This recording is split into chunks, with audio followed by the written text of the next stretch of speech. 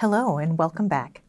Today in our nephrology curriculum, we're going to be talking about nephrotic syndromes, which are part of the glomerular diseases and one of my personal favorites.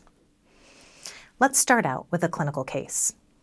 We have a 45 year old gentleman who presents to the hospital with weight gain and worsening lower extremity edema over the past two months.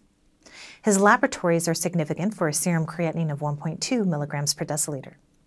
His albumin in the serum is low at 2 grams per deciliter. His urine analysis shows 4 plus protein on the dipstick, but there are no white cells or red cells by microscopy. And he has about 8 grams of protein estimated on a urinary spot protein to creatinine ratio. So the question is is this nephritic or is this nephrotic syndrome? Let's look through our case and see if we can arrive at that diagnosis.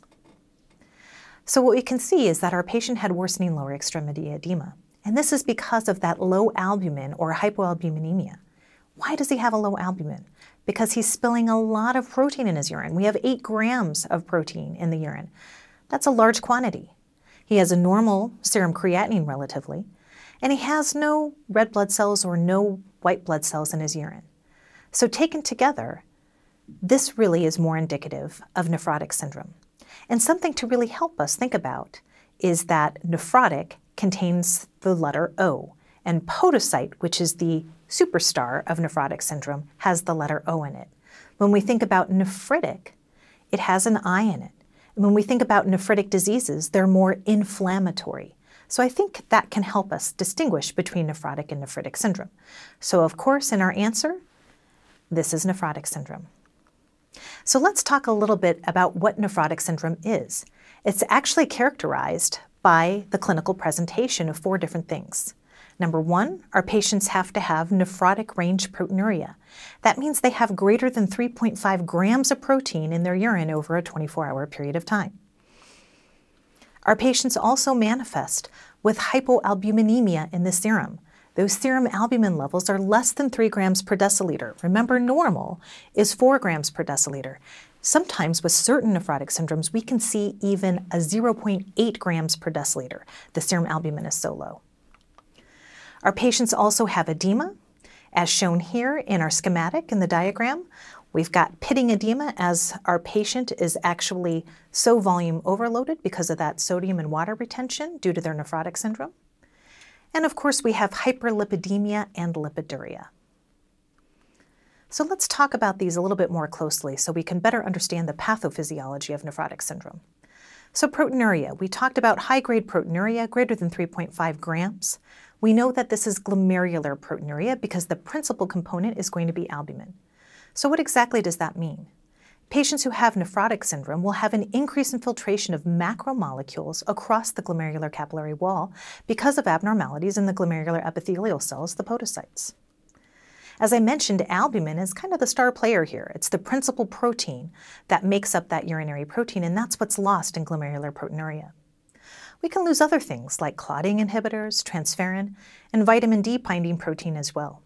But we really think about our patients as losing a lot of albumin. Now, if you look at our schematic over here, we actually have the glomerular capillary wall.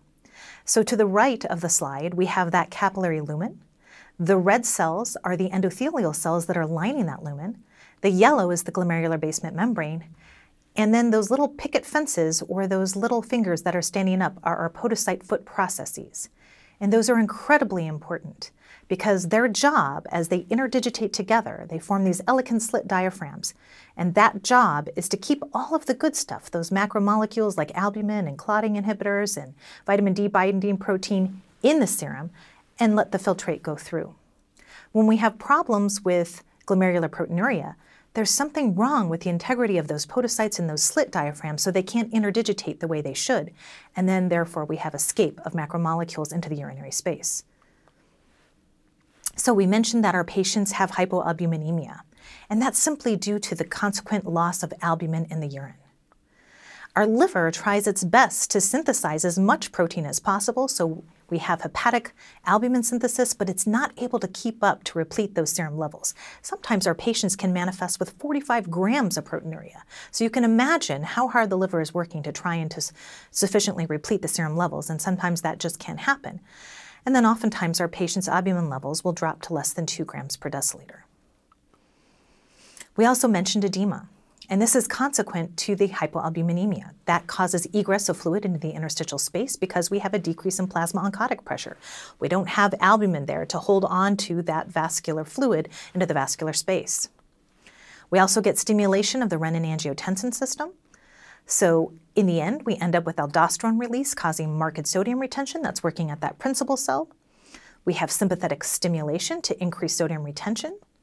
And we also have reduced natriuretic peptide release. All of this together causes that soft, pitting, dependent edema that we see in our patients. Finally, we have hyperlipidemia. Remember that decrease in oncotic pressure is also going to stimulate hepatic lipoprotein synthesis. So the liver will produ be producing a lot of lipid.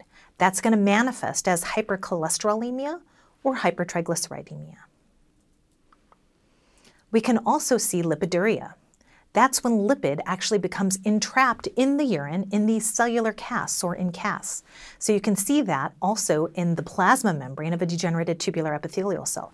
So as we have a lot of lipid, remember, and protein, those proximal tubular epithelial cells are trying to absorb as much as possible, and sometimes they detach from the underlying basement membrane, they become engorged with lipid, and they turn into these oval fat bodies that you can see right here in our slide.